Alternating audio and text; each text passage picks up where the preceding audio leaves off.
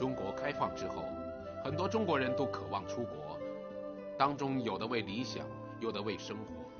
但是中国女性出国从来都不容易，出嫁会不会是他们唯一的出路呢？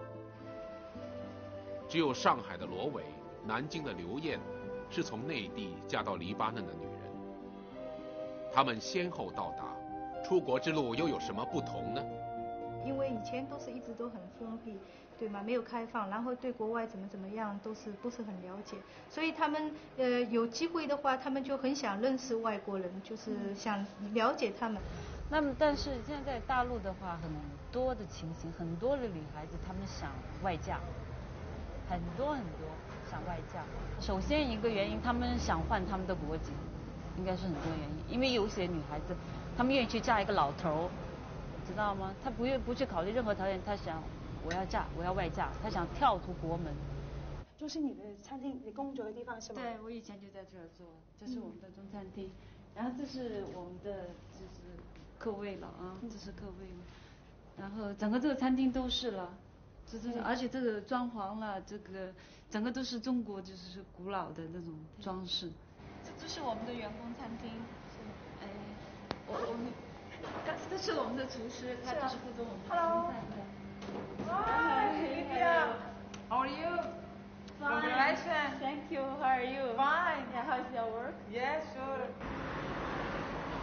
刘艳出国的机会是在两年前，当时她和另外两个女孩被国家派到黎巴嫩这家五星级酒店的中餐厅做服务员。当时三十一岁的刘艳在国内已经到了结婚的年龄。但是她强调，从来都没想过外嫁的事。刚开始的话，我就是和外国人保持一定的距离，因为我觉得他们是外国人，文化上、教养上，还有生活生活习惯上面都有不同。两年来，刘艳在餐厅里每天都接触到外国人，很多人对这位南京姑娘都有好感。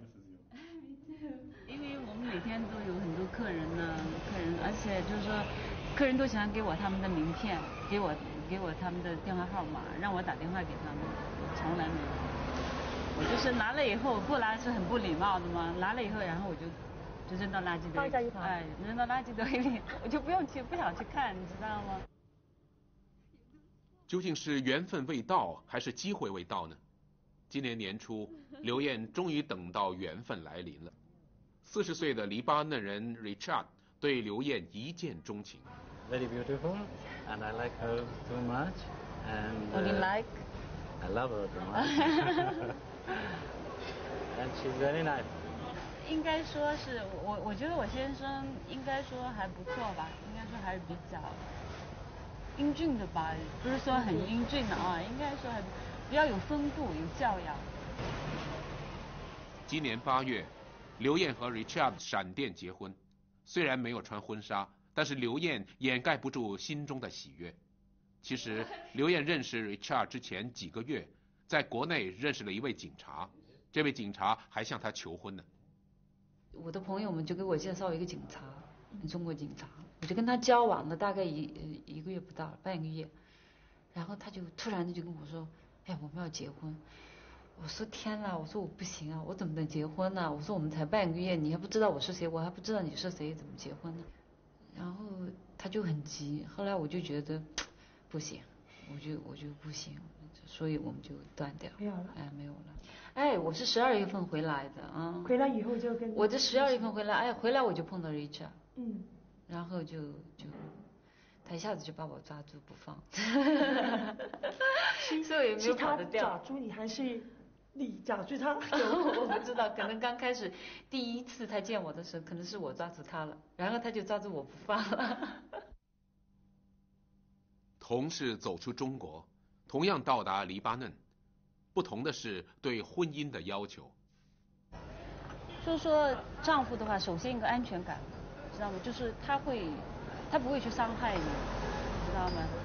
他不会去伤害你，我觉得这一点就比较就特最重要的。然后其他的就是说，应该说其他有一点呢，比如说我我我先生他有很好的收入，知道吗？就是他可以给我很好的生活条件。应该说如果如果我先生是一个很普通的人呢，很穷的人呢，因为我我我应该考虑一下，即使我们俩有这份感感觉或者说感情很深，我必须考虑就是结婚是另外一回事情。那如果他很穷的话，他就没有钱去买飞机票让我回家看我父母。我结婚就是最重要一个就是男的，呃，人品要好，对吗？人品要好，就是建立家庭以后，夫妻之间要有一个尊重的关系，互相帮助、互相照顾，就是不论在那个对方有什么困难的情况下，都是就愿意做出牺牲的这样的。和刘艳相比，罗伟的路就比较平坦直接。罗伟的丈夫安图安。一九八四年从黎巴嫩去上海读医学院。虽然罗伟和他在上海恋爱，在上海结婚，不过离开中国似乎是不可避免的决定。如果能回中国有比较好的工作，我也可以去中国。我也很喜欢中国。很喜欢上海。我很喜欢上海，很喜欢在中国工作。其实关键是工作问题。对。其实我到黎巴嫩这里的话，也是工作问题。外国医生在中国行医难，但中国医生在外国也难以立足。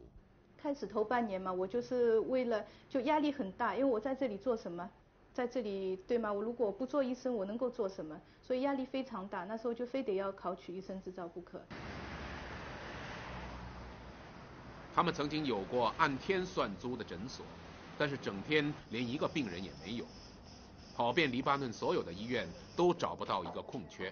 直到去年，用一万五千块美元租下了一间诊所，夫妻俩的生活才开始有所改善。安图安是做整容手术的，手术室的器具差不多全都是从上海运来的，价钱便宜是其中一个原因。而罗伟就成为黎巴嫩的第一个中国针灸医生。最近一段时间吧，我大概有七个病人，呃，目前就是经常来我这里治疗，一个星期两次或三次这样。我是对唯一一个中国人在黎巴嫩行医，而且有合法的执照，就是。骄傲吗？当然很自豪，很骄傲。出嫁最开心的是父母，但是嫁到外国最反对的也是父母。刘艳的父母从她出国的第一步到她步入教堂，从来都没赞成过。呃，我就跟他说，我说如果我在国内找，我找一个中国人结婚，我再结婚在你们身边。如果我丈夫对我不好，那我又怎么样？那我会一辈子都不幸福。那我会觉得你们，就说你们，因为你们你们给我的障碍，所以导致了我不幸福。因为他们觉得这个压力很重，你知道吗？所以他们觉得，如果我丈夫对我很好的话。就是能够给我的后半生很好的生活的话，他们也就无所谓。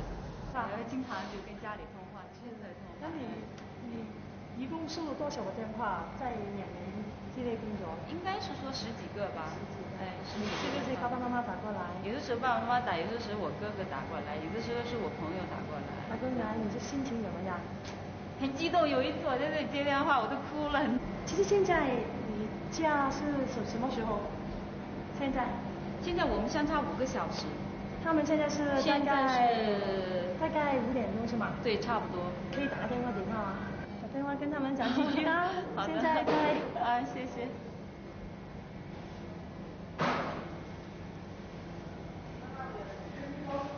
哎，it's raining.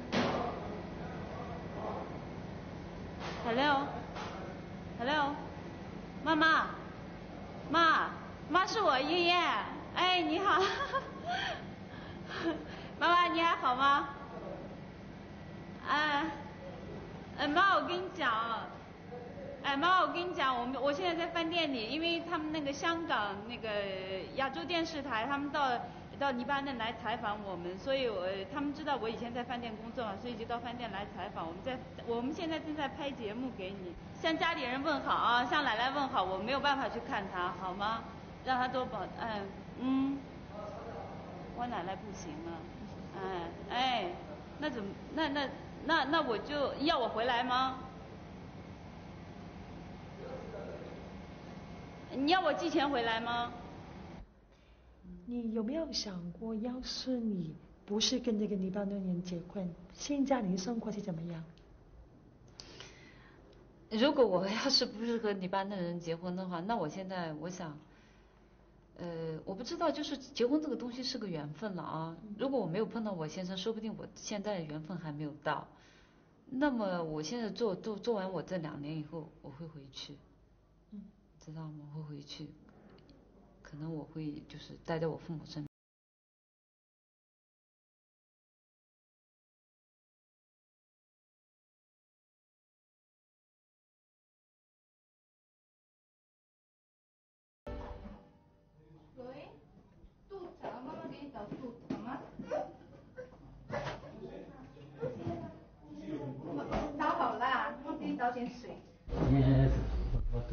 to do I honey, I cut this yellow banana and you put it here, okay? It's nice. yeah. Uh, yeah, I- I just cut it. Very simple. Very simple, Yeah. easy. Yalla. Uh, Let me see. Yes. Can you help me? Yeah, of course. Yes. Mm-hmm. hmm Thank Yes. you. Thank you very much. You are the perfect husband. 两个中国女人要融入外国社会并不容易。罗伟凭他的专业在黎巴嫩得到认可，但是刘艳仍然处于摸索阶段。那你每天怎么过的生活？就是因为 每天六点钟他起床啊啊，我就跟他一块儿起床，然后呢，呃，我们就喝咖啡，一块儿喝咖啡嘛。喝完咖啡以后呢，他就吃点水果，然后他就去上班。上班以后呢，我我就睡觉，睡 觉睡觉，一直睡到我特别爱什么时候睡觉，哎，然后就睡觉，一直睡到要十一十一点钟、十二点钟样子。我做很少，我有的时候很高兴了啊，我就起来早一点，然后我就做；不高兴我就不做，哎。Okay, I will voice, very do-. Okay? Mm, nice. You're professional. I Thank you very am, I much. Am, eh? I am. Okay, you can open the salon. How much I should pay? I want this. 他就是每个月呢，他都会给我很多钱，就是多少？哎，他每个月都会给我一千美金嘛，一千美金就是差不多八千港币，哎，差不多。人民币就差不多。哎，差不多。八千就是给给你出去买衣服，还是吃饭啊，跟朋友去？一般来说是跟朋友出去啦，嗯，都是我自己的开销了。嗯因为我不用去买东西，因为出去买东西他总是派人出去买。Why is not good? 刘艳的丈夫在一家影音器材做经理，足够照顾她的后半生。但是刘艳要面对的并不是生活小节这么简单。其实你看，如果像他跟我跟我们中国人结婚的话，这里的黎巴嫩人跟我们中国人结婚，应该说压力比较大。那你像像我们跟他们出去的话呢，他们就用很用一种很奇怪的眼光看着你，知道吗？看着你觉得好像你们俩关系不正常。三十三岁结婚，对于国内的女孩子来说算是晚婚，但是这一段迟到的幸福对刘艳来说一点儿也不迟。而六个中国女人也似乎只是在黎巴嫩才找到她们的幸福。那你们在这里这么久啊，有试过后悔吗？有什么后悔，后悔，后悔一点没有。我七年前刚来的时候，坦白讲，我头两年，因为我在台湾养，我我那些同学朋友他们都知道，我是算很外，很很坚强、很外向的一个女孩子。那来这边，其实我竟然几乎常常每天晚上掉眼泪，我就是不习惯，因为你们可能没有尝过那种习惯，就是我来这里的时候，半天只有有电，半天就是没有电的那种生活，有时候没有水。其实我觉得这个不是说后不后悔的，我我觉得跟国家没有关系，跟人有关系。如果说我们今天嫁对了先生，你们讲嫁对老公，我们讲老公，他们讲爱人，嫁对了爱人，去哪儿都好去哪儿都可以。我们我们中国人就讲嘛，嫁鸡随鸡，嫁狗随狗，是不是？要是去非洲，去非洲，如果说你也好啊，Why not？对不对？去哪里都一样，any place，对。很多地方我就是跟人我跟你讲，今天如果今天我们到了天堂啊，如果说你的现在你跟他不愉快，感情不好，你觉得天堂也是变地狱。其实你们你们有没有想过，是不是一辈子都在黎巴嫩？这样我不会一辈子啊，那这是要看，如果活得长的话，看谁活长。我讲是讲实话呀，对。我跟他的想法一样。对啊，我如果我先生比我早走的话，我一定回台湾，第二天就回台湾。如果说我活得比我先生命短的话，想要回去我也讲过，把我骨灰放回去，我绝对不放这里，因为再怎么话，祖国是祖国，不一样的感觉。吗？同意。同意啊。跟着他姓走啊，然后他家里面的那个。可是我讲，可是我再怎么跟着他姓走，我还是中国人呐。落叶归根。如果他先走一步呢，我就会回香港。嗯。或者是看我的子女吧，他们长大以后呢，希望我在哪儿。如果他们不需要我照顾的话呢，我就回香港。说如果我先生在的话呢，可能我会跟着我先生；如果我先生不在，我一定是回国。那你孩子？而且我曾经跟我孩子呢怎么办？万一你孩子呢？不知道，不知道。现在还没有吗？现在还没有吗？我是这个想法，再过几天也许会更改，也许不变，也许会改。这个还不一定，他现在刚结婚嘛，还没孩子。不过我曾经跟我先生谈过，我说我要在国内买房子，我干什么？养老，可是呢，我觉得，嗯，孩子就是我的人生，就是我的一切。如果说我为了自己要回去养老的话，孩子丢在这里，当然可以常常来往，可是那种感觉上会不一样，你知道吗？我想，我原则上，嗯，为了孩子，我还是会待在这儿。今后的黎巴嫩可能还会有第七个、第八个中国女人，在同一个国家，同一片土地。摄制队行程的最后一天，九月四号，在南部终于亲眼目睹战火。黎巴嫩南部边境，联合国部队的旗帜只是标志着短暂的和平。这个关卡之后的土地，就是最接近以色列安全区的地方，也是最不安全的地方。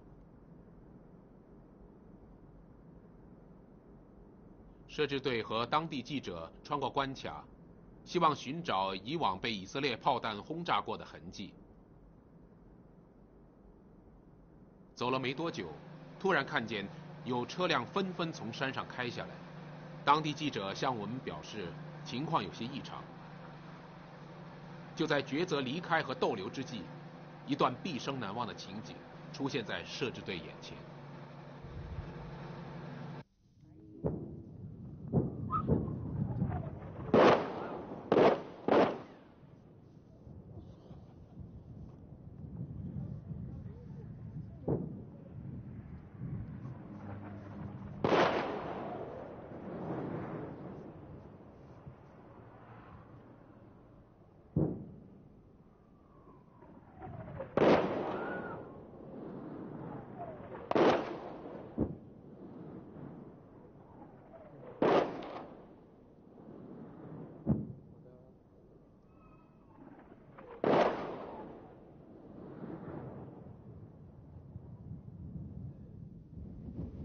炮声连响了八次，震耳欲聋。炮弹落下来的位置，只距离摄制队一千米。亲眼目睹战火，恐惧感非笔墨可以形容。事后，当地记者查到这次炮轰的起因是黎巴嫩真主党突袭以色列，打伤对方两名士兵，而摄制队看到的是以色列还击的炮弹。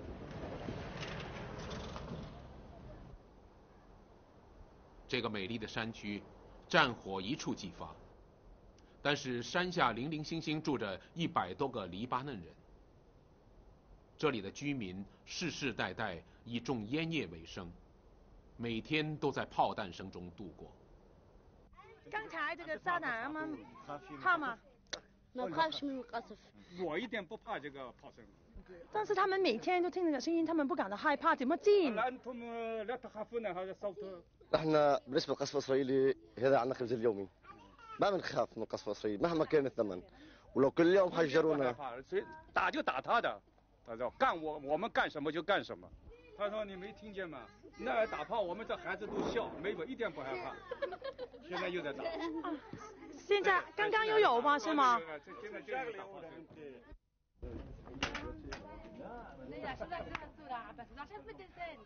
哈森这个名字在黎巴嫩非常普遍，大部分男性都会起这个名字。在南黎巴嫩，也正像他的名字一样，从来没想过舍弃。